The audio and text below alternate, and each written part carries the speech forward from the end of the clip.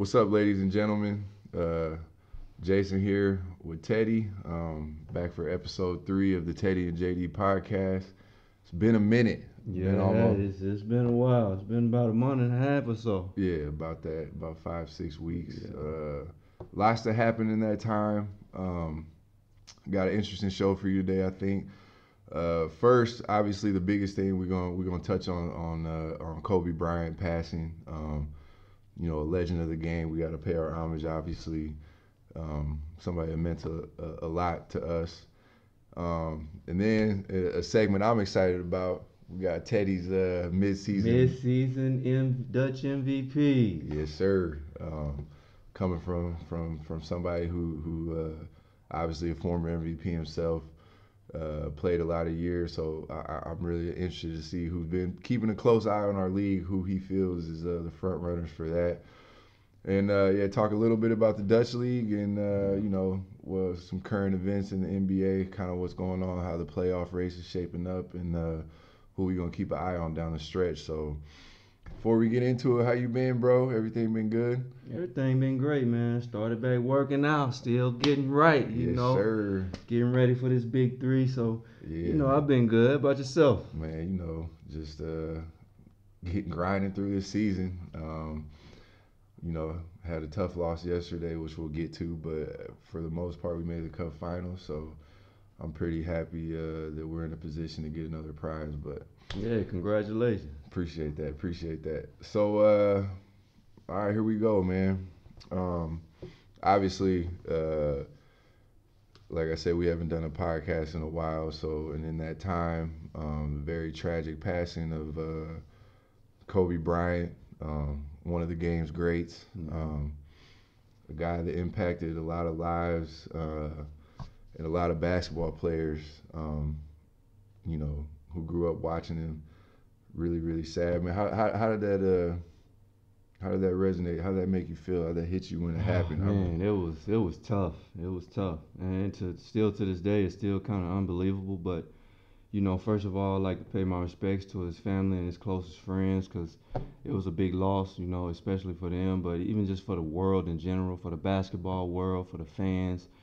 I mean, he was one of the greatest players to ever play the game.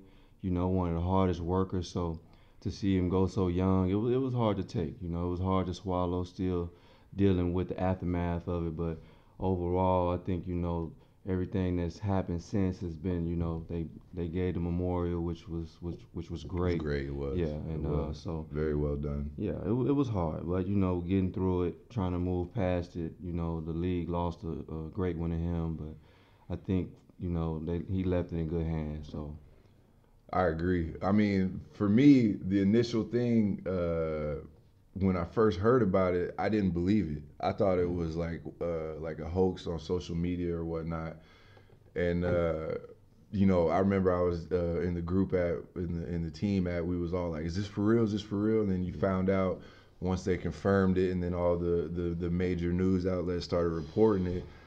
It like it, f- at first it didn't seem real. It took like a couple days for it really kind of to sink in, and it's just you know I just watched uh, the All the Smoke uh, podcast Yeah, with him and with, uh, uh, Stack Five and uh, and Matt Barnes. Yeah, I was like, man, this yeah, dude Kobe, you, yeah, yeah. he's killing it. Like his retirement was setting up to be maybe greater than his uh, basketball career, and that that's hard to do. Um, so yeah, Especially in the aspect of him because he was such, you know, because of his greatness Exactly. on court to actually match that off court, you got to really be on your, you know, you got to be on your p's and q's. So. Exactly. He was a special, uh, special human being, man. And um, you know, I was telling you this earlier. Uh, earlier in my life, in my mid twenties, you know, when when when uh, Bron was really st- coming into his own in the NBA, you know, Kobe was that guy. Kobe was, you know.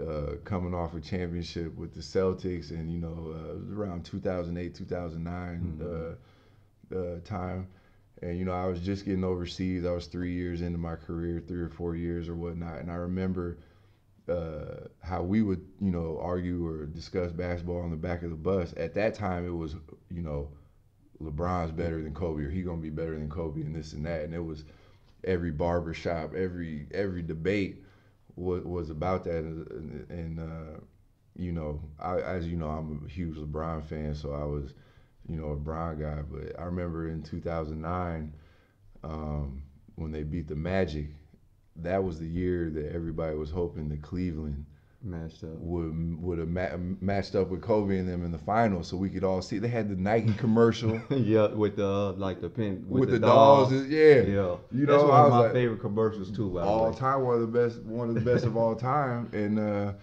you know, uh, the Magic, you gotta hand it to them. They unexpectedly uh, beat the Cavs that year in the Eastern Conference Finals. Uh, with Hedo Turkoglu Man, and uh, Dwight Howard and year. Rashard Lewis Yeah. and you know those guys and uh, Jameer Nelson, Yeah. and uh, it was unexpected, but you know I, it, it was I was really really hoping to see that uh, that year, but I just remember you know teammates we would argue for you know hours over this stuff, and it never really quite ended.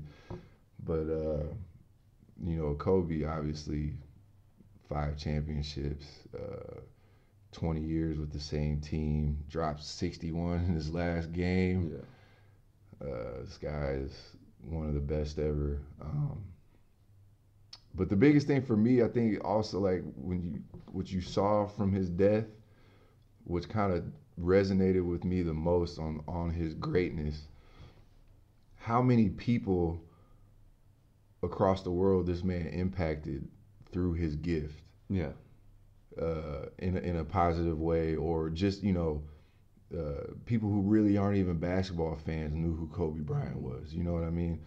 And to me, you can't put a a, a, price on that or a, a monetary value or anything like.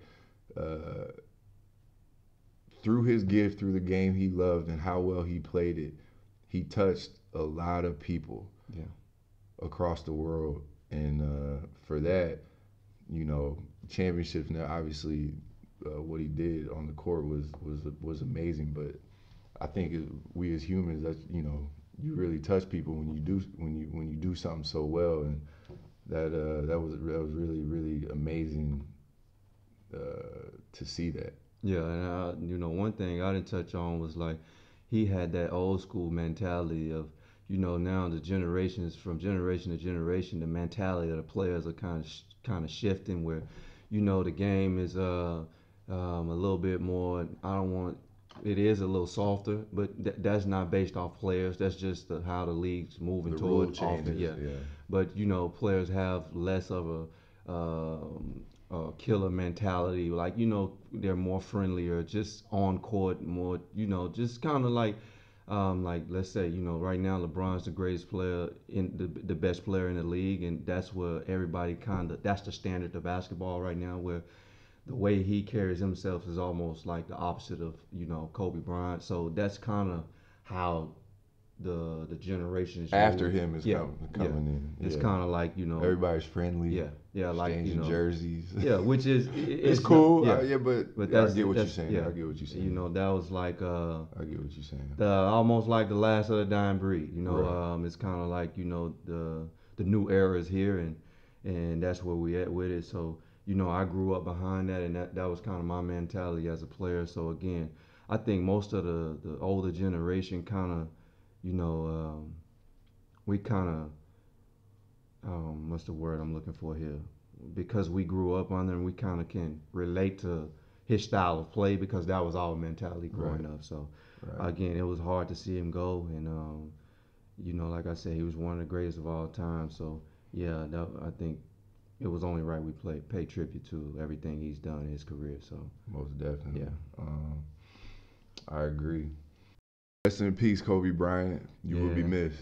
R.I.P. Kobe, we love you, man. So now that brings us to uh, Mid-season MVP. yes, sir, yes, sir. So uh. Teddy's picks. Hey, Let's listen, hear 'em, I'm. I'm gonna tell you though. You know, it was, it was this this was kind of difficult. It was it was it was a hard selection too.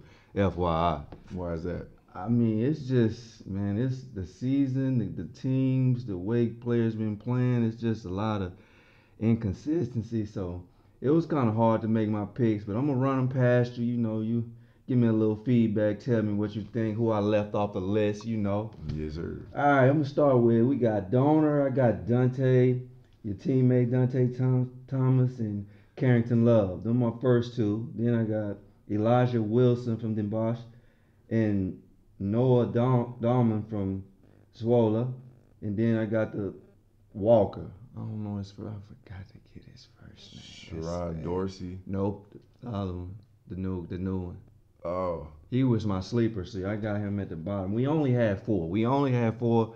We only had the top four in our MVP. So your top four is Dante, Tay. Carrington, Wilson, and Noah Dahlman. Yeah. And Walker. That, that was my top outside. four. As I was researching, though, to be honest, I seen his numbers.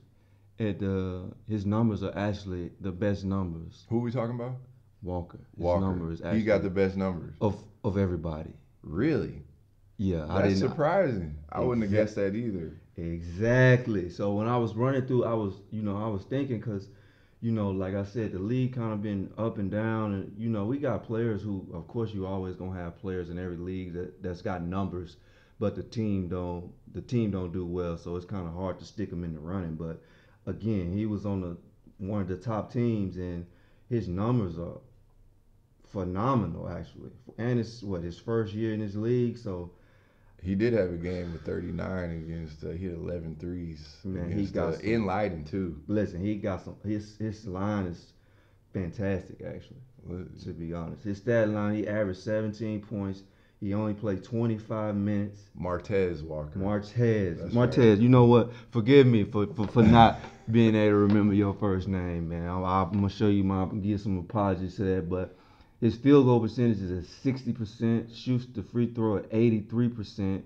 He getting three rebounds a game, three point percentage. I think he's maybe the highest or the second highest in the league with 51% from and three. He, from three, wow. and he shot right at like a hundred, a hundred three. So That's he's impressive. shooting it at a, a, high clip. That's really again. Impressive. So to me, he's having a a great year. He's on the top team. So if I had to choose one, because I didn't I didn't go in no order. I just kind of was just, you know, throwing them down on the paper just to get them on paper. But if I had to choose a one, even though he was my last the last guy I looked up, I would really say him at with those numbers. You gonna put him in your top four now? You making a, you making a change? Yeah, I gotta make a change. He he he he gotta be in my four. Okay. Like he has to be in my four because he got the best. His stat line is he played the least minutes. Okay, Elijah Woodson playing 25 minutes a game. That's pretty. So that's also again, what's he, he, doing in his 25 minutes? In his 25 minutes, he averaging 16 points, one assist. Well, he's shooting 46 from the field goal, 91 from free throw free throw percentage, three rebounds, 42 from three, which again he's one of the top three point shooters in the league also. So yeah, a lot I mean, of attempts too. Huh? Yeah, yeah, a lot yeah. of attempts. So he, he he has decent numbers, but again he he's his team placing is behind Zwolle, so that's another reason, you know. Again, team the team where you stand where you stand at in the league has to play a part in it too. So sure, especially again, in our league, yeah, you got to so, be on winning I mean, again, tell me what you think. You know, like I said, you know, you you you play in the league. I'm just watching from outside, looking in. Right. I mean, if you, uh, obviously Dante and C and like w- with our position, I'd say that those two have been um, our best, most consistent guys mm-hmm. throughout mm-hmm. the year, and uh, you know, Carrington is a big part of like you know what we do as far as uh, the engine of our yeah. team, so to speak. Um, Elijah Wilson, I think, is a really good player too, a good scorer. Um, you know, he can score in a variety of ways. Uh, you mentioned Noah Dahlman. Uh, he's just he first yeah he he puts up numbers, but he's a winner. Yeah. Like the way he plays, he does a lot of winning things, whether yeah. it be rebounding, timely rebounds, big shots, diving um, for loose balls. Yeah, he's he's great in the post. Uh, he can pass. He yeah. you know um, and you mentioned Martez Walker. He's he's having he's having a great year too. Uh, he, he's lethal in transition. He shoots a three. Yeah. Um, and also is a is a good slasher. And uh, you know I like I like the way he uh, he doesn't really force it. He gets a lot of his stuff within the system, which is what good players on winning teams do. Um, the the only other guy that maybe would be in the mix for to me would be another guy as well would be Sheron Dorsey Walker. And you know that was that was gonna be my my last. When I decided to look at when I was going through Zwolle's roster, I was looking at you know guys of you know if this guy wasn't playing, like how would the team perform? You know, Right. Like, you know, and and I thought about him because he's he's important too to the team. But when I seen when I seen Martez's Martez- numbers, yeah, it's hard yeah. like I, that. compare him like Dorsey and Martell numbers like Martell numbers was just so like you know the the, the difference was so big that you know I, I figured like it's hard if you take that amount of scoring from from that team to win without him you know and then with that that kind of efficiency from the three point line which keeps the floor open you know And they got two of them because Sheron's a great shooter too. Uh, Yeah, I didn't yeah. remember his name. yeah Also, shout out to uh, Advanced Pro Basketball. Uh, that's where you got Yeah. these numbers, right? Yeah, that's where we got the stats from.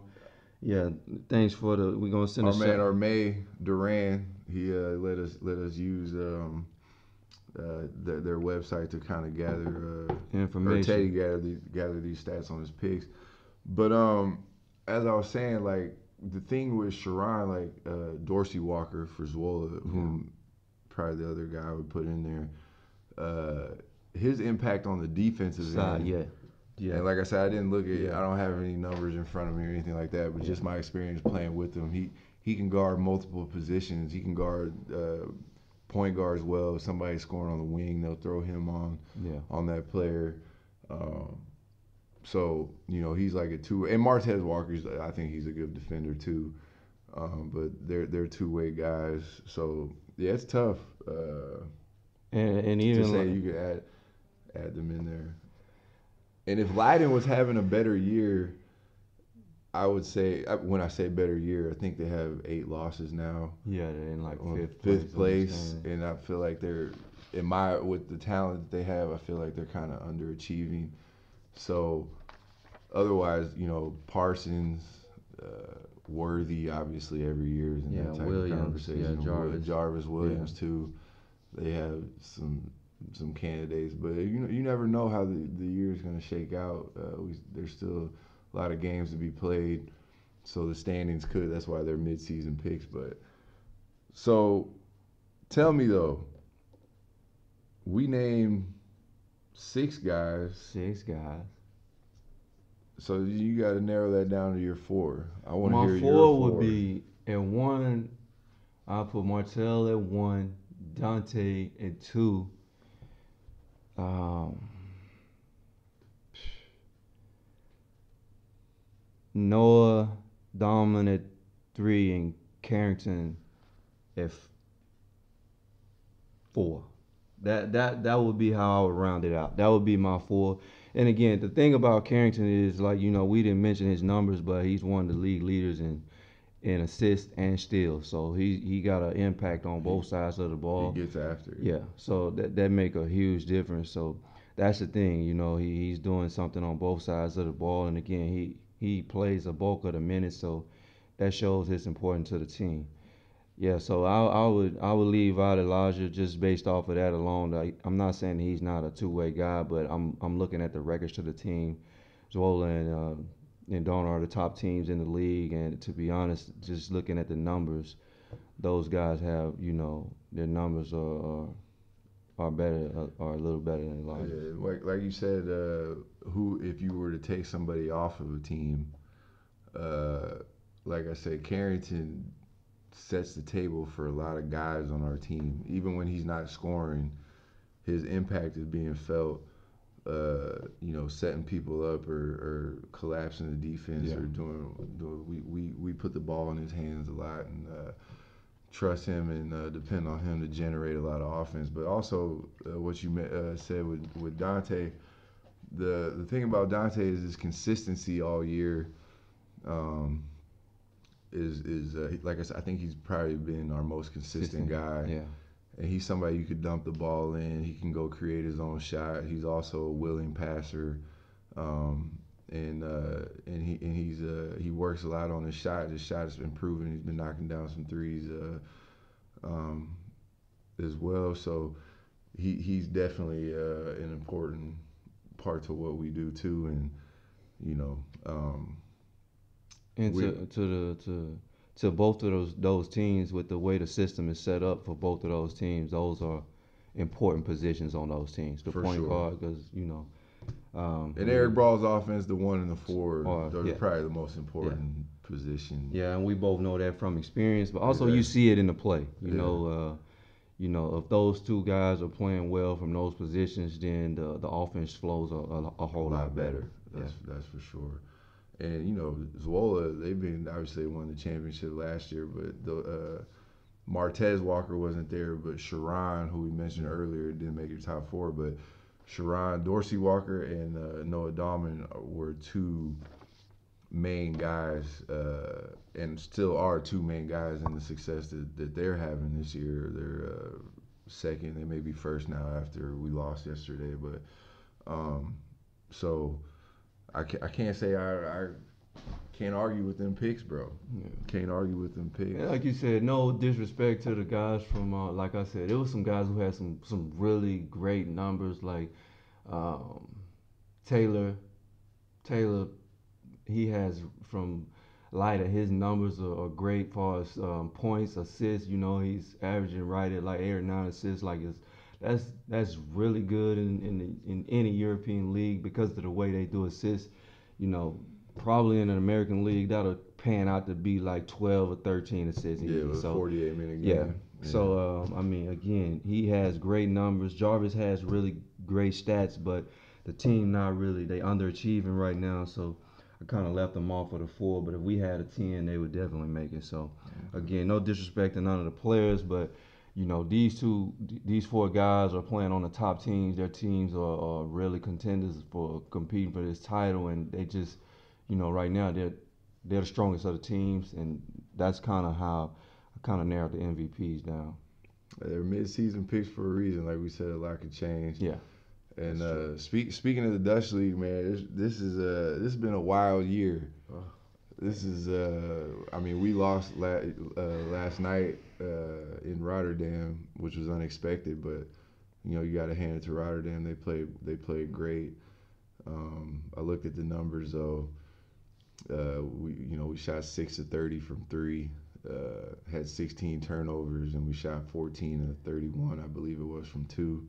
It's around 44%. It's hard to win a game like that and uh, missing shots and turning the ball over. So we had a lot of empty possessions. But you also have to give credit to uh, Rotterdam because I thought they played a really good game. But there's just been a lot of upsets. Uh, And yeah, like and, and not just like this is over the last month and a half or two months. Like it's been a lot of inconsistent play from just in the league in general, from top to bottom. I mean, you I know, agree. you've seen top teams beat lose to bottom teams. Like I think this year it seemed like it's happening a little bit more more often than than than the last two or three years. I mean, it seemed like it's going on more, but I think that's also due to, you know, the league has kind of went toward um, bringing young guys in who are not as uh, experienced with, you know, still searching to find their way, and the veterans. Normally, you have more veterans on the team, which you got to kind of try to balance it. You I got agree. more when you bring in young guys, little let, little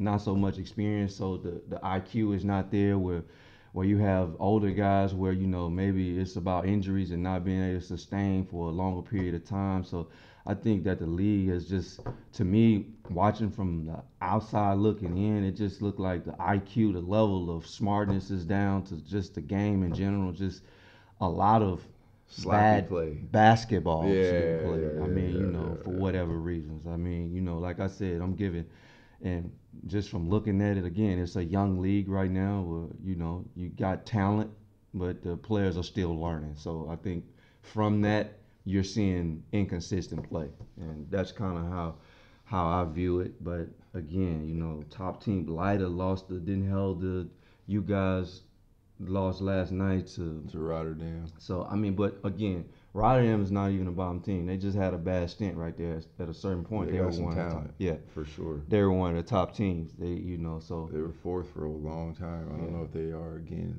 now, but uh, yeah. What you have the standings right there? What what are the standings? Because as well as playing Leiden today, so that'll have an impact. But with our loss, uh, we are tied. We're Donars first. We have Zwolle second, Den Bosch third, Rotterdam fourth, Leiden's in fifth. We're in sixth, which is hey, like I said, I mentioned them. Uh, I think it was yeah, the last, month, episode. they, they They're doing good some back- good things. They they upset uh, Den Bosch in Den Bosch Yeah. a couple weeks ago. That was an impressive win for them. Then, like you said, Den Helder seventh, and the last possible playoff spot right now is for Leeuwarden, and you have Amsterdam ninth. Um, Leeuwarden's coming on too. Uh, Yeah. They they beat Leiden uh, at their place. Um, I'm not sure if Craig Osaikhwuwuomwan uh, got injured recently, but he was he's playing great basketball. I like their point guard and uh, the wing that they have. Um, and I just think they they play really well together. Solid basketball.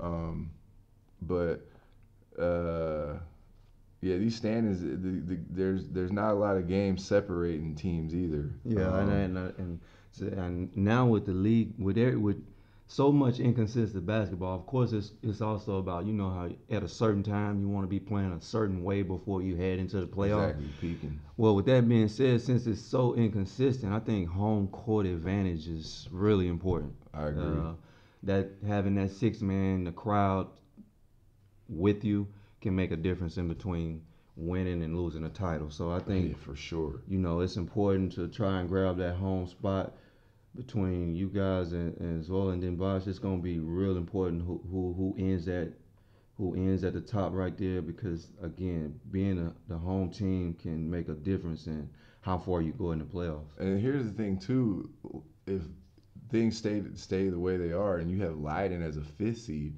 that's a dangerous fifth seed. I mean, It is. they they are ain't nobody questioning their talent. You know what I mean? Like Yeah. uh, seeing them up close, and like I said, uh, a lot of these things. Teddy watches multiple games a week uh, in our league. Uh, goes to you know lives in Den Helder, been to a couple Den Helder games, so seeing a lot of teams up close.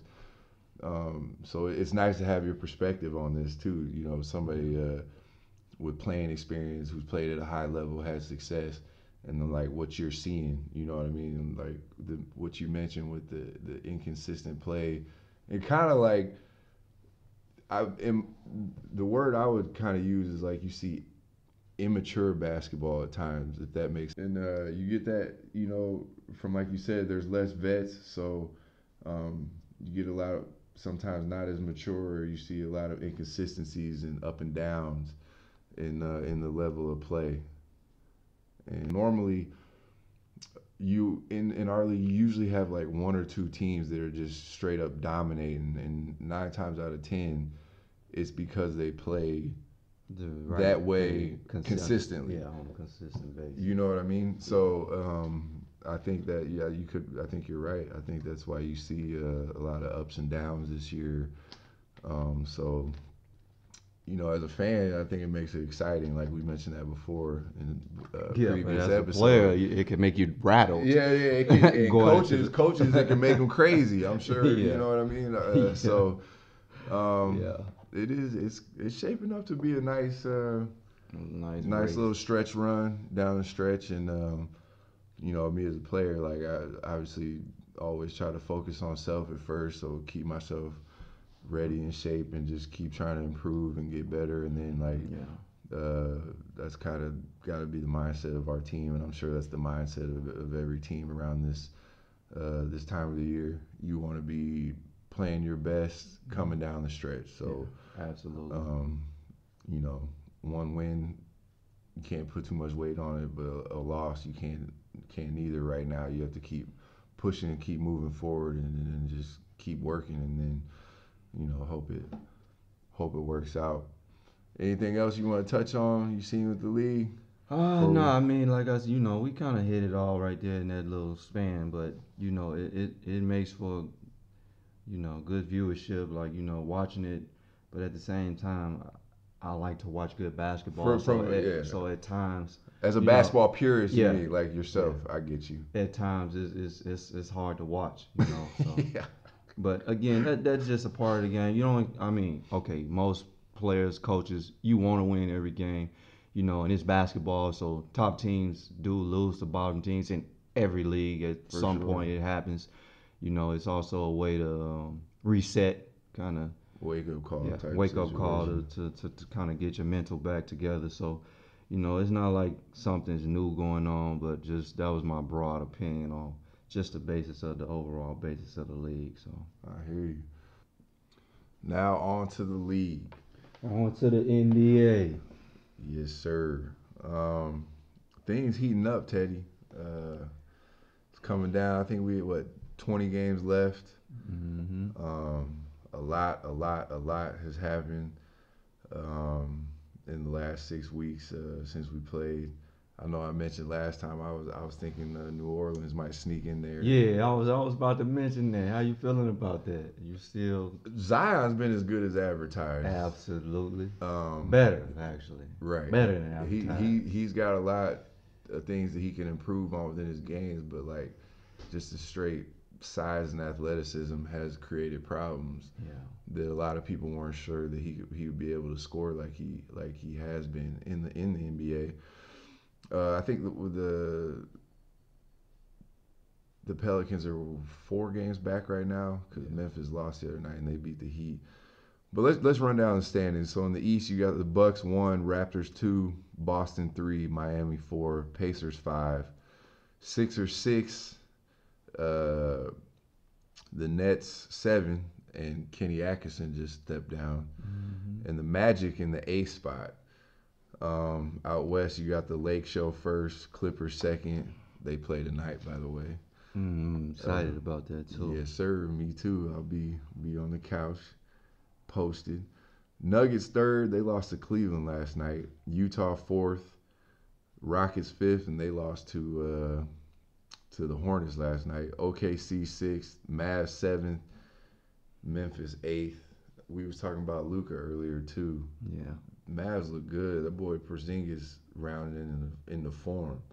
Yeah, he is. You know what? That that Mavs got that. You know, um, Luka still got that thumb injury too. So it's gonna be see how that's gonna play out. Gonna be important. How whether he gonna be able to keep playing at that high level with that type of injury. Is it on his shooting hand or is it? The I think it is a shooting hand. Yeah, I, I think that. it is too. But he looked good the other night against uh, the Pelicans. Man. Triple dub with 30. I think he had 30, 17, and 10. Uh, he he's a. I, I I still maintain. I said it uh, in the last podcast.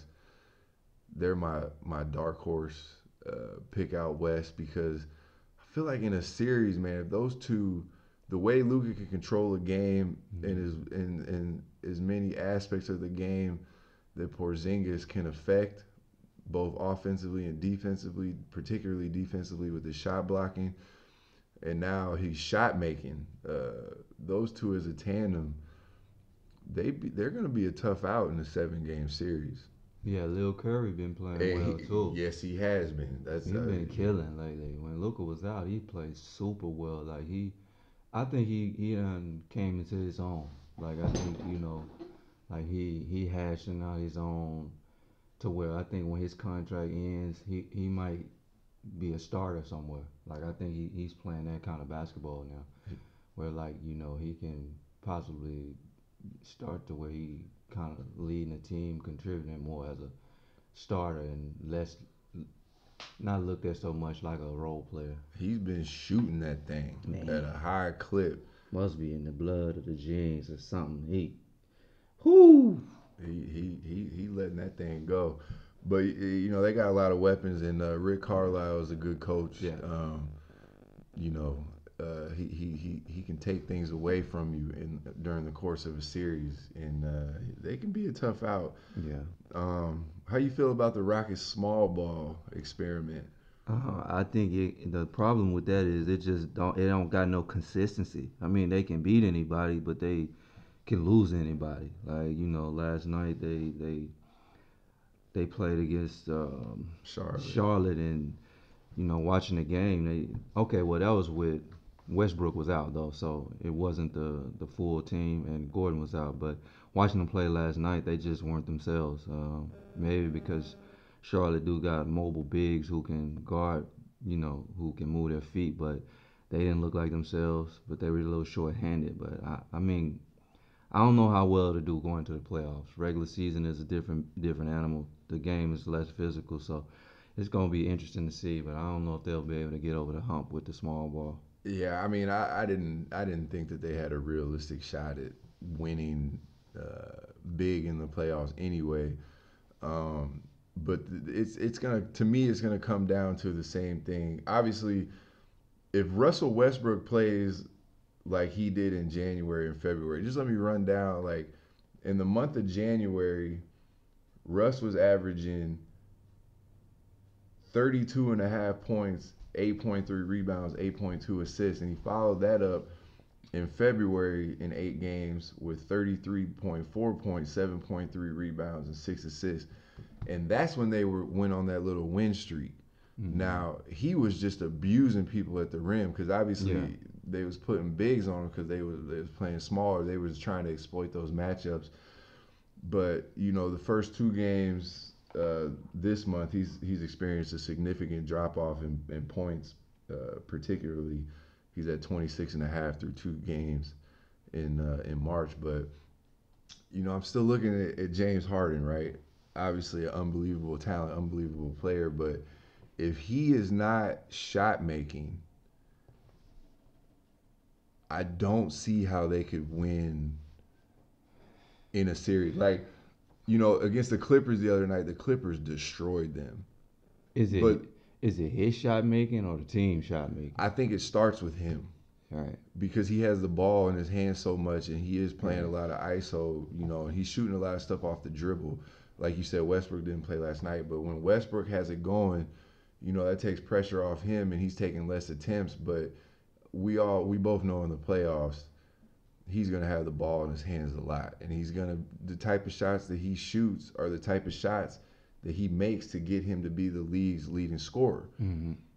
And then we've seen over in the years past in the playoffs when those shots aren't going in and then you fact the collectively for the Rockets, them threes ain't going in. They just don't have a chance. So it's like I don't think they're not producing the type of threes or like like the Warriors were producing during their their playoff. Obviously, Steph off the dribble a lot and, and Klay too, but they were producing some movement, ball yeah. movement, player movements, catch and shoot threes off yeah. of you stagnant, know, pat, stag, stagger screen. You know, yeah. one more pass, extra pass off the help type stuff. Those are different types of threes, and all the majority of your threes coming off the dribble, uh, contested variety. So I don't see them them having a, a chance. I honestly think it's going to come down in the West to the Lakers and the Clippers.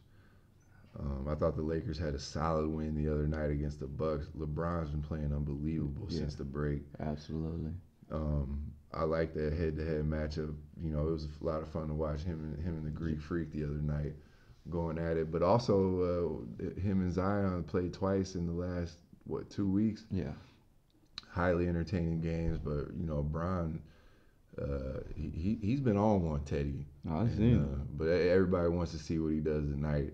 So whenever when when when anybody listens to this tomorrow or whatever, we're gonna have the results. So I mean, uh, let me tell you, I want to talk about Houston a little bit. Like, I, I see where they're trying to go with small ball, but it's two things right there. With with small ball, I ain't saying they can't get over the hump, but to me, there's no different from what they're really trying to do when they had Capela than what they're trying to do with Westbrook. Westbrook getting inside the paint, getting high percentage shots. That's what Capela was doing for them. Well, without Capela and Westbrook, now I mean, like talking about last night's game, you could see like they didn't have nobody else to get inside the paint, so they didn't really get a lot of paint points. And if they can't get paint points, like if Harden not getting to the rack and he's not getting free throws, you know, they didn't get a lot of calls, he didn't shoot a lot of free throws.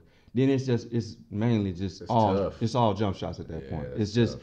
are they making shots? Then they you know are they creating good looks or are they all contested? So I think that you know I can see what they're trying to do, but without Westbrook, it, it, it's not the you know Harden's impact to the game alone when they're stopping his penetration, his jump shot.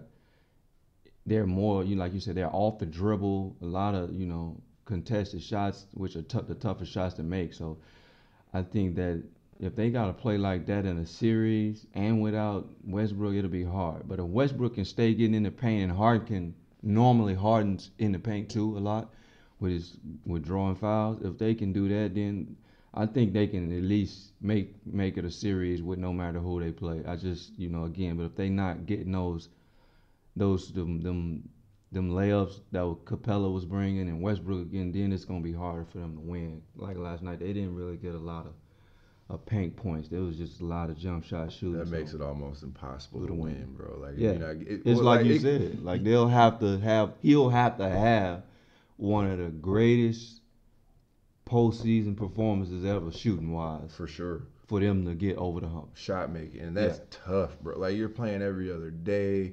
Teams can key in on you because they not have they don't have to worry about who they playing tomorrow night or the night after.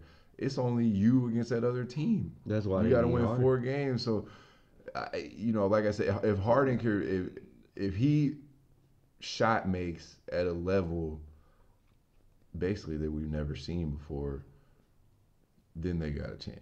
Yeah, but, I I'm don't saying see I think with bro. with Westbrook though, Harden gets that more easier looks. Last night he for sure, for sure, Like, I know, agree. Westbrook attacking, he penetrates, he kicks it out, then the ball moves. The ball moves better with Westbrook because he's attacking. He He getting kicking to that out. rim, yeah, bro. and you got to respect that. So He he's demanding rim. a lot of attention, which takes pressure off of of Harden. So I can even like with the trade for Chris Paul. At first, when I was when it first happened, I didn't like it as much, but now. I think it it was a great move. Now, if you think about it, because when Harden goes out, Westbrook can carry that load a little bit better than Chris Paul did. Their their games are similar. He he attacks the basket more. They can get paint points. Okay, Chris Paul probably was going more to the role of Capela when he was in and Harden was out, but they have the, their style of play when one is out and the other one's in. Like James got tired the last two years, I felt like, and he just couldn't get over the hump due to fatigue. Right. And I think this year with Westbrook, due to his engine never ever burning out, seemingly, Right. like he doesn't seem to get tired often. I think that'll, if they have a chance, this is probably from season to season. All right, last year they got Right. a little better. Like this year, I think. Again, they only lost last year by it could have went either way. They could have easily been in the finals. So For sure. But that last thing I'll say about the Rockets, uh, Westbrook's run coincided with the trade of Capela, and that opened up the floor, which which unlocked him yeah, because the lane was so Oh, open. Yeah, But now it's like, how do you get the best of them both? And in a playoff series, you know, I just, I think the only unless Harden's getting to the line, they're calling the same type of fouls that they call in the regular season, because then you can negate the paint points if Yeah. he's getting to the line, or if they're getting to the line as a team. But if he is not shot making with the types of shots he's shooting at a high clip, it's going to be tough for them, to me, in a series. yeah, I agree. Yeah. Does Memphis keep this A spot? Uh yeah, I think they'll be able to hold it. Um, but um, who we got over there? Portland, Sac. Sac is playing really good basketball. They they, are. They, are making a strong push. Making me look like a I, I don't. I don't think Memphis going. Not that Sac won't continue to win. I just think Memphis going to continue to win too. They play really good basketball as a team. It's only a few games left, so They got 20 now. it's- They coming off a- a bad loss in, in Dallas, but you're right. They did beat the Lakers the other night. Um, did they play last night? they played two nights ago. They got smacked by the Mavs in Dallas. But uh, going back to touching on Sacramento a little bit, I mentioned in the previous podcast, I'm, I'm a huge Harrison Barnes fan. And so I've been watching every game of his career, meaning I was watching the, the Man, the the Kings all year, and they were hard to watch. But ever since, uh, I gotta give Luke Walton some credit. I bashed him last episode.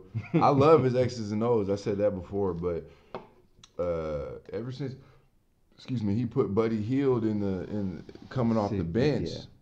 that changed things because you got a bona fide scorer coming off the bench, similar to something like what the Clippers have in Lou Williams. I'm not saying he's as good as Lou, but I mean, you know, this is a 20, 20 a game, uh, 20 points per game uh, a night Yeah. player coming off the bench, Yeah. and he's his production is maintained, uh, or he's maintained his production. And the starting five, I feel like there's more fluidity. Uh, De'Aaron Fox, you know, is the main guy within that starting lineup now. There's no friction really, Yeah. uh, so they're they're playing well.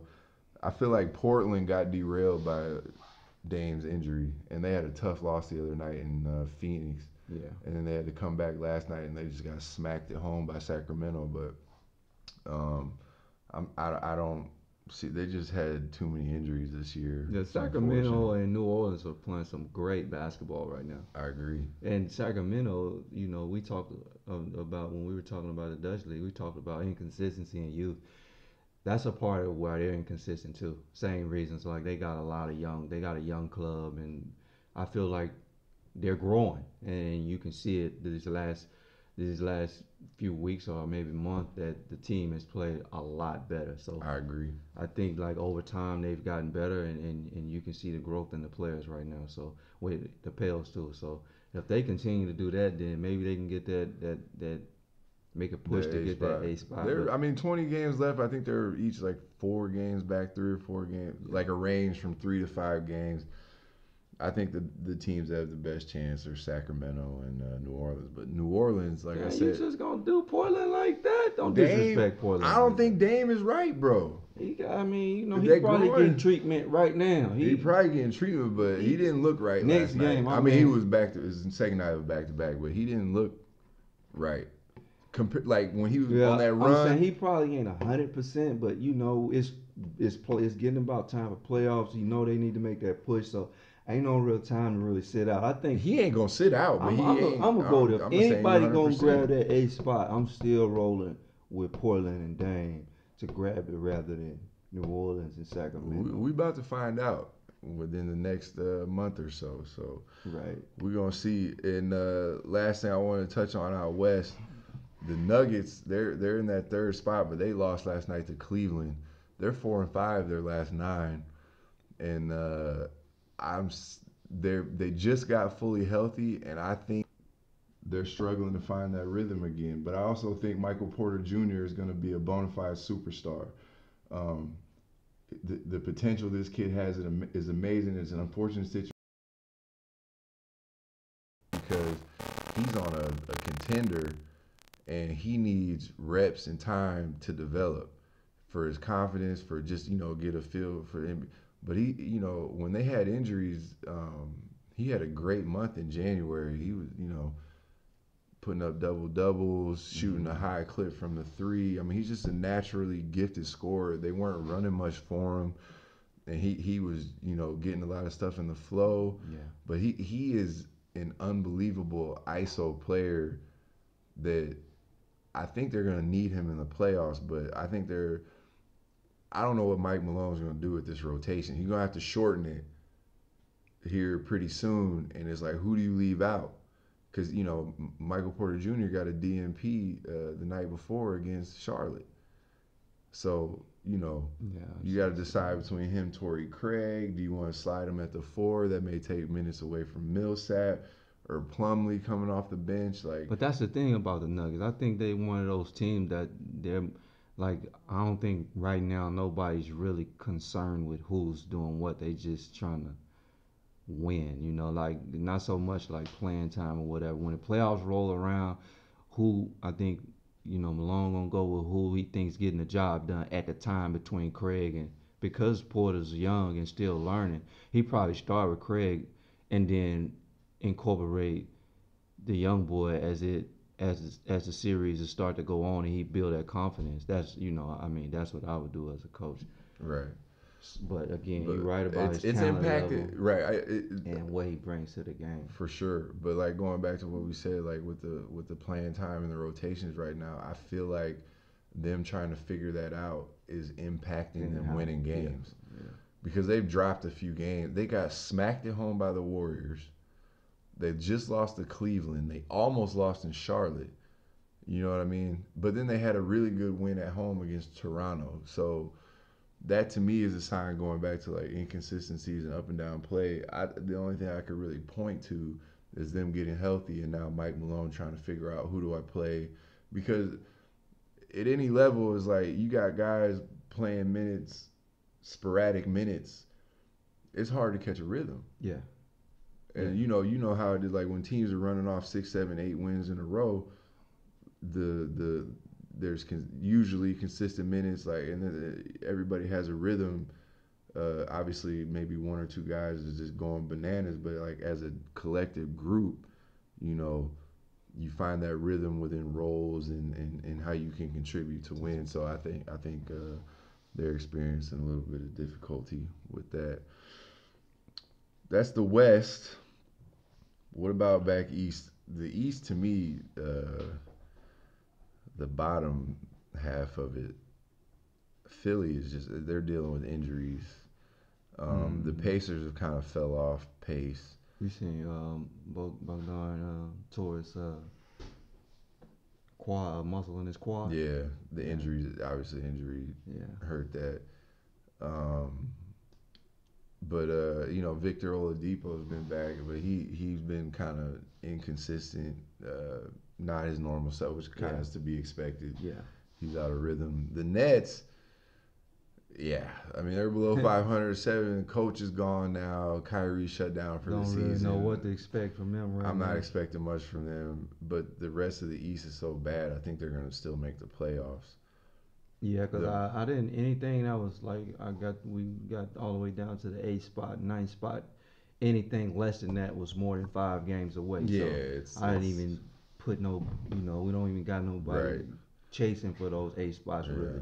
Yeah, The- I think the Magic, the Nets Magic will probably stay in those spots. Philly, I tell you what, if they get healthy in the playoffs and stay in the sixth seed, They're gonna be a mean six. that's. Boston, Philly. That right now it'd be Boston, Philly first round. That'll be exciting too. Ooh, that's a good. Boston. Yeah, that'd be a good. That'd be a That'll be great series. exciting. Tough. That'd be a tough first round matchup though. Hey, you see for your Boston. man, uh, uh, um, what's the young boy from um, from Boston?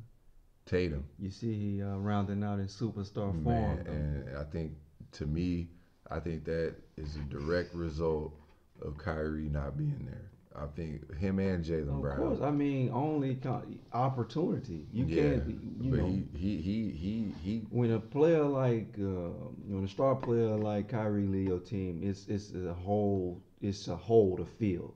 They had the talent, now players just getting the reps. I mean, not just But we that saw ain't that- even just due to like Tatum, not even the only one who who put themselves like also what's the other guy, the young boy, Jaylen Brown. Jaylen Brown.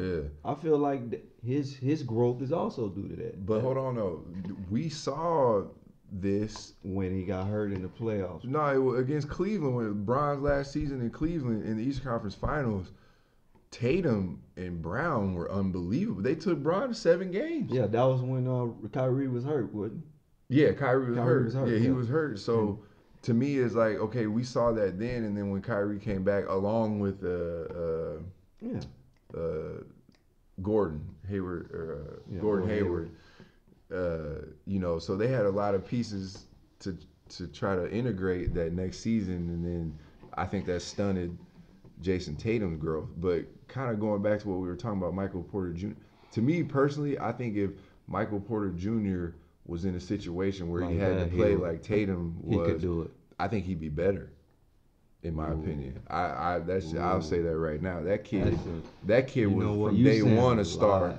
You bro. saying- but it's hard to say that because His pedigree is a number one pick. He got hurt. I okay, but that's what we're talking about. He's always from. He's been injury prone. I mean, So- he had the back injury. and That's he, a, since was he's a pretty been serious injury. yeah, though. but I'm That saying was- since he's been back, he just came back off another yeah, he turned prior. his ankle though. It wasn't like a yeah. Okay, it's an injury. He missed games, but it was just a turned ankle. It wasn't nothing like serious. Yeah, but The to say he can do back. what Tatum done before we seen. I think he'd be better. Dude, How do you I even get much better than that? I'm po- I'm pointing to I'm pointing to the game they played in Indiana. He dropped 25 and he was hitting clutch buckets down the stretch. And this was when Indiana was fully healthy, not Oladipo, but they were they were it was tough to win in Indiana, and that was kind. Of, I was like, you know, I'm sorry they they running the same little play. He he come over on an Iverson cut into a ball screen, and he'd either get it off the roll or they just let him get it in the mid post, and he would go to work. And they was playing through him. I was like, okay, this kid. I think He he, got a chance super, to- if he don't if he stay away from injuries, Yes. it's no question that he gonna be a yeah, superstar. he, his and that's jumper gonna is pure, bro. Like the Nuggets already got a, a great young core. Like when he come into his own, the faster he does that, the more of a threat to the title that they'll be. So Yeah, but the good question is, will he get the opportunity to? But yeah, that's what we were. We I don't even about. think that's a question. I think coming in the next season that You getting DNPs this late in the season? There's a question. yeah, but you this know, year, like next year, next year we'll see. But this year, I'm not even sure he's gonna crack Mike Malone's playoff rotation. But we got sidetracked. We was talking about Boston. Oh, Ta- yeah. Ta- Tatum is unbelievable. The Yeah. Raptors, I think we got to give a lot of credit to Nick Nurse, absolutely. and they they got a lot of veteran guys up there, and obviously Siakam coming into his own. And I, I guess East. on one hand, you know, because when you think about the Raptors, the Kawhi went there last year, and we thinking like, oh, like they were a good team before Kawhi went there. I ain't saying they were a, c- they, they were already competing for Eastern the top. Conference Finals. yeah, so They couldn't get past Bron. yeah, so I'm saying the fact that they still at the top shouldn't really be that big of a, surpri- a surprise. They still got their entire team other than Kawhi, which Kawhi just really put them over the top to win the title. So they were still, injuries yeah, they were still really a really good team. They for sure, really for good. sure, for sure. But to be honest, let, let's be honest. Without, The Bucks, the but it, it, they're nobody's beating them. To me, I don't. East. I disagree with that. in I a series in the East. I think you don't think the Bucks are going to represent if- the East. No, I think that. I Who think you think the going to Bucks- represent the East? I think that if the Buck, the Raptors, the No way. people sleep on the Raptors. First of all, they got size. They can go small with, with big with big guards. They can put they can put Siakam at the at the four and put uh, uh Siakam at the five. Like they got long, they got length to guard. yeah, they got length, but I, What what what do they? They got length. They got Gasol. They Milwaukee got playing Ibaka. another They got Siakam. bro. They are, I, I, they're dominating. Like, okay, they lost. They lo- they had a couple of losses last. Miami in Miami was surprising. They always dominate regular season. What do they do in the chips on the ground? We've seen it. One, they've made one deep playoff run with uh, Giannis being Giannis, and uh, so okay, now you kind of see like what did he learn from last year, and what I'm seeing in the East, as good as I think Toronto is, I don't think Boston has a chance. I don't think Miami has a chance. Philly, they've just dest- well, actually, okay, they they lost in Philly one time, but the other two games they destroyed them. I, I just don't see the only team that, like you said, maybe has a shot. Okay, I'll give you the Raptors, but to me, it's it's it's a long shot. It ain't that long. They just beat them last year. That with, with Kawhi, you can't. I mean, I mean, you got you got the claw in the All playoffs. I can go with is off what I seen. Come on, man. All right, so I'm saying this year, I I don't. That's my opinion. I don't got. To, we can agree. I don't got the. I don't got the trophy coming out of Toronto, but Toronto are still the. the So who you picking out of the East? Toronto. You got to. All right, I got Milwaukee. We're gonna see. I got coming. Toronto coming out. I got the Bucks. I would being, love to know what the listeners think about this. I got the Bucks being a regular season team, playoff start when they when they face Toronto, with that coaching, with that experience, with with they just came off a championship season. All them players, They they, walking tall. now. Yeah, They they walking, but come on, dog. They ain't beating the Bucks in seven games. Right. We gonna see though. I would love. How to much? hear How, much you heard people? T- you you remember last year when Lopez was getting off? Brooke, Brooke in Yeah. the in the yeah Killing, yeah, yeah he was. you but heard anything about him this year? he's playing well. No, He's shooting the ball well. He's protecting the rim. We don't talk about nobody but Giannis. I mean, they, but Middleton's having a good year. Uh, they, they're a well-built team. Now they ain't got the only I other agree. the only other like all-star they have is Khris Middleton, but they're not gonna wow you. So what, what's the difference Giannis, between Toronto and, and They're a perfectly built Bucks. team. They're a perfect Toronto, or excuse me, Milwaukee to me is a well constructed team around their superstar. They complement him well. They surrounded him with shooting. uh, and his and obviously Giannis's number one strength is getting downhill, getting to the rim, getting fouled or finishing at the rim. But he can also pass. I agree. Thirty what four, 13 or 14 boards and he's almost six assists. Did you hear what he said about the last game about playing against LeBron in that length? That length, but t- does Toronto have that type Yes, of length? Yes, they do. With who? They, they got Ibaka Siakam. Similar- They similar- seven feet tall. Okay. So you gonna compare the Lakers' length with Anthony Davis, JaVale McGee, and I you throw Bron's really not in there. Dwight he was a primary Dwight didn't defender. play, did and Dwight, he he got in foul trouble. But those three seven footers, Toronto ain't comparing to that type of Yeah, but the point, what did they do? What were they doing? They gonna do this. Toronto gonna do the same game plan. Where did the Lakers get the game plan from? Everybody's game plan's the same No. against If Milwaukee. you watched the playoffs Pack the last year. Toronto started that, bro. Yeah, they started, but I'm saying okay, They- but okay, don't the, if that's the strategy, that's why I said Milwaukee is a, a well constructed team because they surround them with shooting. He had that last year. I'm saying that. I'm saying that if you can slow Giannis down, if you slow them down, you, you like Miami did. like like uh Toronto gonna do. But And who, who was go, who was who was his primary defender last year in the in that playoff Probably series? Kawhi. Probably or was it Kawhi? Uh, It probably was Kawhi. Where Kawhi playing at? he, he he's somewhere in L.A. Right. I so think- I- so you don't think that Kawhi in that series had a huge had a- impact on the defense? I think he had an impact, but you keep talking about well-built teams. The thing that what I love about Toronto is they got all sleepers, people who are hungry. Just everybody sleeping on them because they don't got no superstars. But some kind of way, how many games they even They, back by? I'm t- they, they, they, got play well together. I'm not, that's why I say I got to give Nick Nurse credit. I'm not saying you wrong. I'm just saying I think the Bucks are I think that significantly better team, and and if and if both teams are healthy in a seven game series, I feel like it would be extremely difficult for the for the Raptors. But like I said.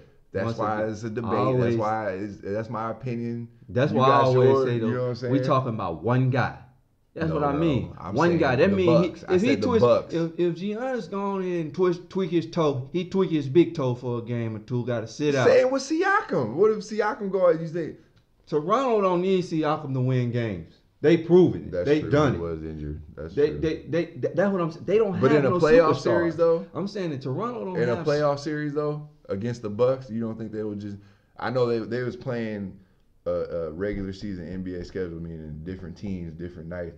But in a playoff series where you matching up against a healthy Bucks every night, you don't think they need Siakam to Yeah, win they four need. games? They need. Ah, okay, Yeah, I think I think they need. so it. if he sprains But big I'm toe, saying, I'm saying that they the in Buck- trouble. The Bucks, I'm saying that the Bucks can still they'll lose probably the, the, every game from that point forward. I still think Yeah, that. Toronto will Alright, compete yeah, because they got they got Use more Giannis. size. Yeah. They they they don't play throw the ball to Siakam Siakam downhill. No, that ain't even that ain't even their style of play. They play more team oriented where every player eat. Lowry, Fleet, like you you never know who might get loose for 25 or 30 points. Well, we know who gonna come out on the flip side. I mean, I guess you. So can- you were saying you saying that I the think Raptors gonna will be, be- favored in this? no, they will not be favored. They ain't gonna be favored because So that's what I'm saying. So the you groundwork has been done. For But the to, for for you, they're for me, they're my favorite to come out of It- the East. okay.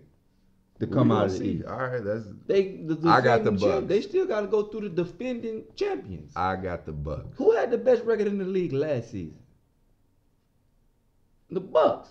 They did. That's And the. Bucks got the best record now. Who who gon' we don't even got them to come out of the Who was the finals MVP? Oh, they a real contender? Who was the finals? contender. Who? Yes, they are. Who was the finals MVP last year? No, I'm talking about your top three. Name your two teams. Three. Name three teams. You well, you probably gonna put them as your third. You don't really think they gonna win the title. I actually do. You I- think the Bucks gonna win the title? I think the Bucks. Ooh, okay. You are faking. No, I'm not. I, I- could. Brian better not hear you say this. Yeah, I mean, I'm, I really like. Oh, they're, nah. they're, if I'm not mistaken, I think they're the best team on both sides of the ball. The Bucks. Yeah. The Bucks that just But- played the Lakers the other day. that that particular game showed that, that it, it it moved You the need 'em. Lakers. It did a little bit because, but Bron has to be Bron, which he he normally is. But if Bron has an off night, because I mean, we can go off the, their first meeting, they got smacked. Now that obviously uh, Giannis hit like five threes or something like that. If he's hitting five threes, that's How what I'm many saying. games he gonna do that? But we, I mean, he was shoot. Was he shooting like 32, 3 percent or something like that? I'm saying, but if he, Uh, but he, he he's a threat, and if he's hitting like over the course of a series, it's going to determine like each one of them is going to have to play at a high level. If Bron plays like he did the other night, because he didn't play like that in Milwaukee. Yeah, he did. He didn't play like that Milwaukee, and the Lakers got was a little- smacked. They, they wasn't in the that game. First game, he wasn't. They and so that's what I'm saying. Like, I don't know who. I know that my the the only three teams that I think have a legitimate shot at winning are the Bucks, Lakers, and Clippers. Dark horses being out of the West, Dallas, and in the East. Why do Toronto. everybody sleep? Oh, I was gonna say, why you? I just said dark horse out of the East. I'm just I said out of the West. I didn't necessarily say before. Yeah, I know. I because they got to get. I don't think Toronto can get through Milwaukee, but that's what I'm saying. I think the the three teams. It's a three team race right now, in my opinion. You got the the Bucks, Lakers, and Clippers, and depending on how the playoff seeding shake out, you know, there's there's a couple teams that pose. Uh, that are a tough matchup in the West for the Clippers, and you know The Lakers got a tougher. The Lakers definitely got a tougher job to get there than the Bucks, the Bucks and the Raptors. It ain't even a question. Well, so the Clippers because the Clippers and Lakers got to go through each other. I mean, the, that's what I mean. I meant the Lakers and the Clippers. They got the hardest road to for the. sure. But the Bucks and the Bucks, people think the Bucks gonna walk through, the, gonna walk to the Eastern Conference Finals. I'm. I'm one of those. They people. sleep. They but we'll see. Like I said, we're gonna find out. No Like, way. I, I, I, I, that's what I think. But Mm-mm, mm-mm, ain't happening. we'll That- see. We gonna Raptors see. ain't- We gonna see, brother. We gonna see, man. You see, you with the North up there. So, but anyway, my brother, let's. uh I think we we call this one a, call this one a wrap, man. Man. Episode three. It's, it's been a pleasure as always. Absolutely. and uh, we're gonna try to get the next one out a little sooner than uh, than than this one. Not have such a long gap in between episodes, but thank everybody for listening, Appreciate you. and uh, we out. We out of here.